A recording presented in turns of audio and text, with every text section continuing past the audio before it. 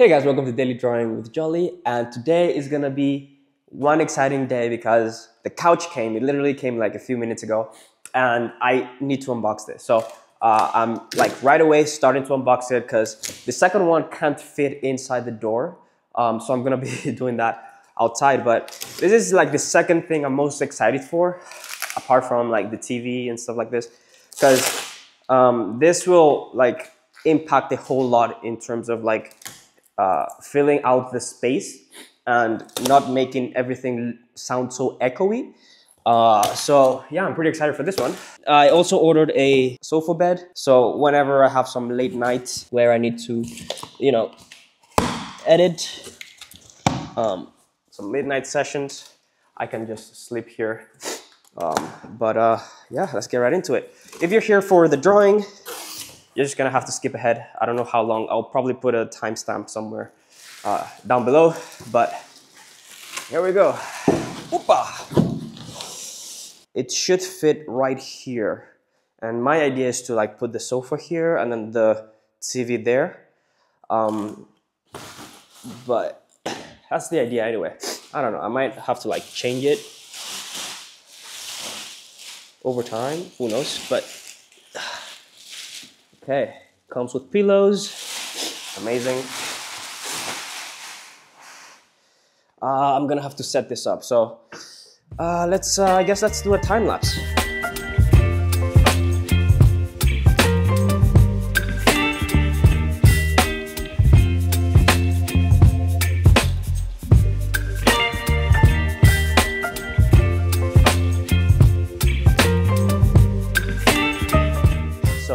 Everything's unpacked.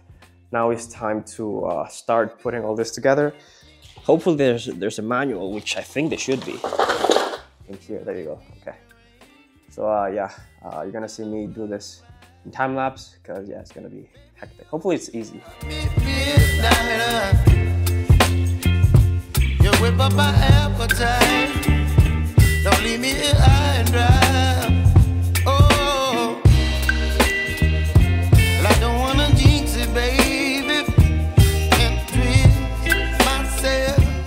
All right, guys. So we are pretty much done setting this up. Man, it took me roughly an hour. Um, it's probably I I would say it's the second most difficult thing I set up in this whole studio. First thing, uh, it has to be the drawing table. That has to be the most complicated, you know, setup. But um, yeah, I struggled mostly in the beginning because the instructions I, I wasn't able to really understand it at first. But you know, once you kind of get the you know the general sort of idea, it gets pretty easy. I think the most the hardest thing that I struggled with was putting in the little legs because I had to really screw it in.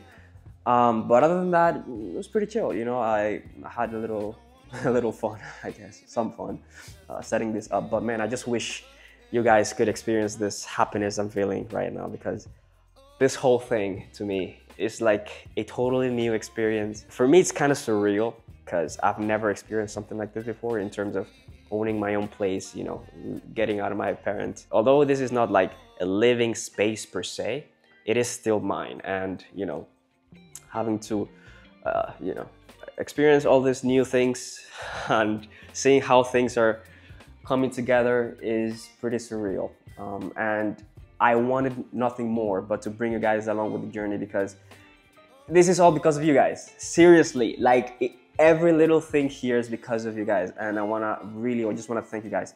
Um, but before I go, I wanted to unbox uh, two more things that I brought today. Uh, that they brought today, um, just for funsies, because why not? Um, the first one is a vacuum cleaner, and this one is an electric vacuum cleaner. I mean, at my parents, we never used vacuum cleaners. We always used like a broom, and that, that was it. Um, but I felt like, you know, since I'm gonna be owning like rugs and stuff, I felt like I needed one, and I thought I would just get a an electric one. Oopa, sorry about that. um, you know, with a not an electric. I mean, all of them are electric. I mean, like with battery, battery powered one. And I saw this one on Amazon.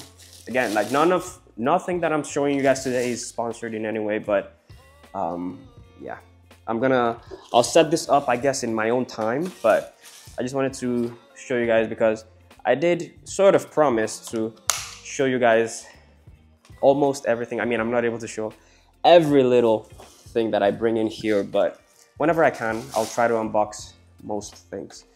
But um, yeah, here you go. So, and this is pretty much it. Uh, there's a lot more stuff, but I'll set it up at my own time. And then finally, uh, I got a mini fridge that I'm gonna set right beside the microwave and the um, air fryer. The little, um, you know, like stand, like kitchen sort of stand that I'll probably set up for all of this has actually arrived and I haven't unboxed that yet. So yeah, definitely stay tuned for that to see me set the whole mini kitchen area. Um, that should be exciting. And uh, yeah, I ordered a fridge that also has a little like freezer section because I wanted to freeze stuff as well, you know? If I wanted to freeze maybe like ice cream or something, or just ice in general. It's not very big, the section, from what I've seen. But let's let's open and see now how how it is. But yeah, as you can see, it's pretty it's pretty cool. It's not it's not like super big, but I didn't want anything huge anyway. Um, and then here's a little freezer section, I think, um, where you can put ice and stuff like that. But yeah, that's uh, that's the idea. So uh, I'm gonna put this right beside all of those. But yeah, again, I just want to thank you guys so much for following me along on this journey. Uh, again, I couldn't have done any of this without you guys. So I wanted nothing more than to just show you guys the entire process from start to finish as much as I could. Um, but uh, yeah, let's get right into the drawing. So let's get right into the drawing. If you want to grab a pencil and paper and draw along with me, you're more than welcome to. Today's comment is to draw Piccolo as a pickle. Hopefully it's easy, uh, simple enough. Um, we drew Kakarot, Goku, as a carrot. So this one should be in a way similar. I'm gonna try my best to not spend too much time on this. Um, because as mentioned many times i'm trying my best right to make sure it's like at the most like 20 minutes ish uh, especially because this entire thing is in real time and i don't want to spend too long on this. But anyway first thing i did as you can see here is i drew the shape of a pickle right? Now depends on how you want to draw this but i'm going to draw this uh, kind of like three quarter view so we're going to draw him like this, right? Um, now, I do have two references up. The first reference is it's actually of Pickle Rick, you know, uh, from Rick and Morty. And another one is of Piccolo. So I'm kind of combining them both in a way. Um, I'm not using an actual pickle in this one, just because I feel like you don't really need like a reference of a pickle, right? Like it's pretty easy and straightforward to understand the shape and oh, just how a pickle is. I don't think you actually need, uh, uh, you know, the a pickle to be looking at it as you're drawing it. So I just picked um, pickle Rick because I feel like it's a it's better it's a better reference to use than an actual pickle. And since it it has a face on it, so like it's it's a better reference to use overall. So anyway, uh, yeah, today we unboxed uh, my first couch ever in the studio. Now, a lot of people might be wondering, what is this a studio or is this uh, a home or what is this, right? Um, well, it is technically it is a studio. This is not a, a living space. It's meant for for working, but at the same time, whenever I need to relax or whatever, I'm here as well. So it's kind of like it's not a living space, but it's a lounge area as well, uh, as well as a, a working area, you know? So it's kind of both. Uh, but I don't sleep here, or I mean, at some point maybe I might, but I got a sofa a sofa bed, yeah, sofa bed, um, for the sole purpose of that. In case one day I have like a long, long day of working or whatever, I can just sleep here if I really want to. But I don't know. I mean, so far, I mean, I've had the couch for a couple days now, and to be honest, it doesn't completely feel like like a homey, you know, because it, I mean, it's not a home and it's not my home, and this is the first time that I'm like away from my actual home and trying to maybe hopefully sleep here if I want to. So it doesn't really feel very homey. But anyway, that's over time. That's something that will come over time as and as um, you know uh, more things come and I fill this place up, it's gonna feel more and more homey. But yeah. Anyway, that's the plan at the moment. Uh, so far, things are good. I'm I'm loving it. I mean, it's not like the best couch ever, but it is pretty. It's pretty comfortable, you know, and I don't mind it.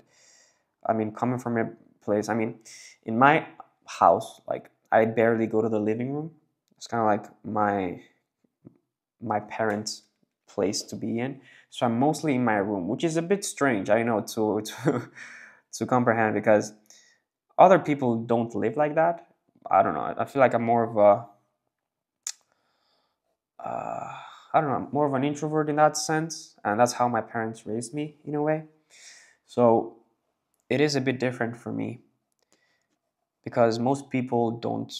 For example, like um, one of my friends, right in Ireland, because I went to Ireland for a bit, and I lived in his apartment for a little bit, and I was pretty much all day inside the room, and I didn't go out. Like uh, mostly it's just to go shower and eat uh, or cook something. I mean, I was still eating in my room, but he was kind of surprised, like, why am I in my room so much, right? Like, I stay in my room so much and I don't go out. And it feels like I'm in a prison or something, which I, I didn't really think about it like that because I'm just too used to doing absolutely everything in my room. I, I sleep in my room, I eat in my room, I work in my room. Like, and my room was so tiny that I didn't really complain for, for, I mean, ever, you know? So I, I kind of got used to that, but looking at it looking at it from outside, I you know it is a bit strange to to be doing something like that. So anyway, um, yeah, it's just a little interesting fact about me. But anyway, I, I don't I don't go to the living room in my uh, at my parents, um, just because I don't know I barely even talk to them as much. So I'm mostly just in my room, you know, recording videos, editing videos, uh, stuff like this. So yeah, I I'm coming from a place where I barely go to the couch, right, or use a couch. So for me, I'm like super happy with with what I got. Um, and also the couch that we have in my, my parents is not it's like super old and at this point it's like we need a new one it's like breaking up and stuff uh, my mom keeps telling me to get a new couch. Um because my parents you know finance uh, financial situation at the moment is like super tight which i'm thinking of getting them one um, at some point. So yeah. But anyway i haven't gotten them once up until now because I, I mean i don't really use it. And to be honest they haven't really been complaining. They don't really i mean it's, it's mostly my mom because uh, you know my, my mom is chinese right? And she kind of uh, i guess she's more i don't know i don't know how to explain it but i mean it's not the best looking couch it's kind of old looking so my mom is like um, more worried about it. I don't know. I'm not really worried, but more aware because you know Chinese people are are more uh, sensitive when it comes to their image, right? Because it doesn't look good, right? And other people will feel like, oh, we, we're like poor or something, right? Which well, well, my dad doesn't really care that much. You know, he's kind of he's, he's an African man. I mean, sometimes he mentions it. It's like, yeah, we've got a really old looking, crappy couch. Um, but for the most part, he doesn't complain. And also, to be honest, we barely bring people home. Um, my parents never bring anybody home. I barely bring anybody, and if I do bring somebody, it will be like they'll be in my room. So, yeah, we've we've been using that that tiny couch, you know, broken couch for years now, and yeah. Anyway, I don't know why I'm, I'm rambling so much about this, but all right. So we are drawing the head here, and we're almost done. Um, I haven't really talked a, whole lot about the process, but as you can see, I'm pretty much just drawing him in a three-quarter view. Um, as mentioned, I do have a, a, reference of Piccolo, like a chibi Piccolo. And this brought me back so many memories because this specific reference of Piccolo, like I remember that back then, I think I used to draw.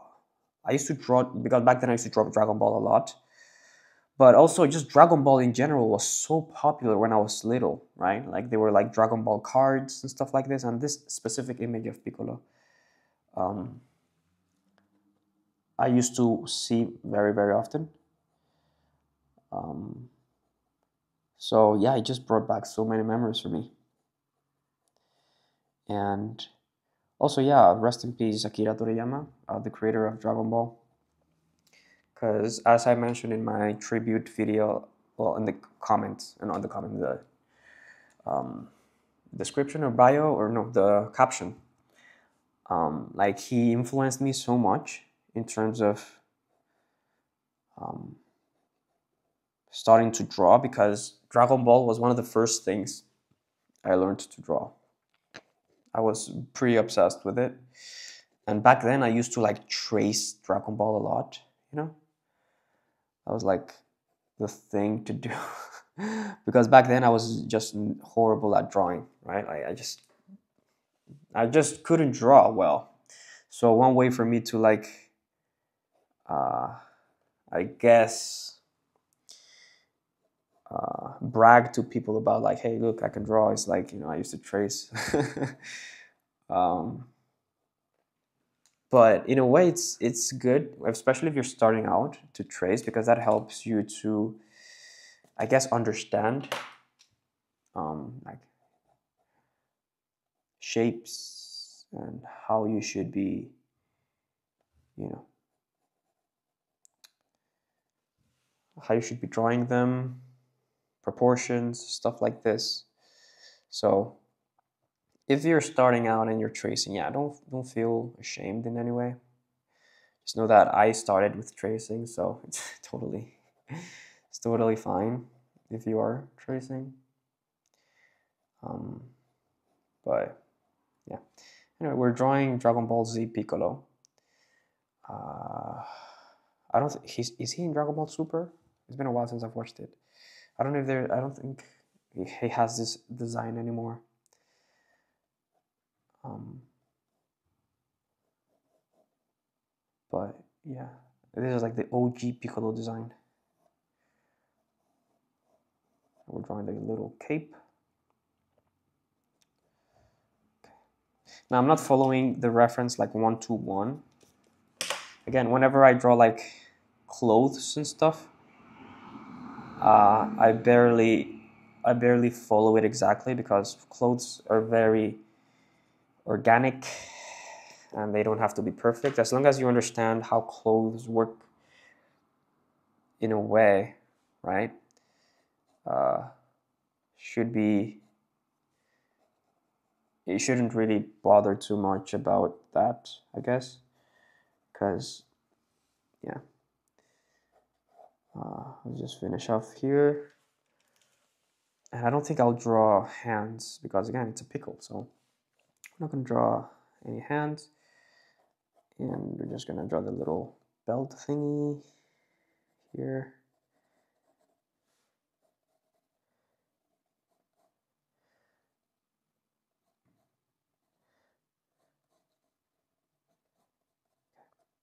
There we go. Also, if you want to like shade things in, what I'm doing also, I'm, I'm kind of erasing, trying to make things a bit neater because, yeah, whenever I draw, I try to, I, I I make a lot of lines, like sketchy lines, makes things a bit messy. So I like to go back and just erase lines that I don't need and make things a bit more neater in a way. But yeah, anyway, if you want to like shade in, for example, the bottom part here, you can also here. Now this isn't like again one to one with the reference, but just kind of have a general idea of how the light is shining. Maybe it's going from the top right, and then you can shade all the bottom part here like this. One, two, again. Doesn't have to be perfect. Um, it's just to add a little bit of depth to it, right? And I'm just gonna finish that off, and we're gonna draw the little pants here. And it doesn't have to be completely perfect. I'm, I'm just gonna draw like one sleeve, right? Just one uh, leg type thing. Um, thinking, should I draw like the middle stripe here like this? I don't even know if I should because it doesn't have two, two legs, but anyway, it's okay. Completely up to you. Again, like it doesn't completely have to make sense as long as it looks like a cool design, we're good. And then I'm gonna go back and then erase some lines. But there you go. It was quicker than I expected. But yeah, hopefully you guys enjoyed. And I'm gonna refine this a little bit and maybe put in, make the cape a bit bigger, right? like that. And yeah. And then we can shade this bottom part if we want to.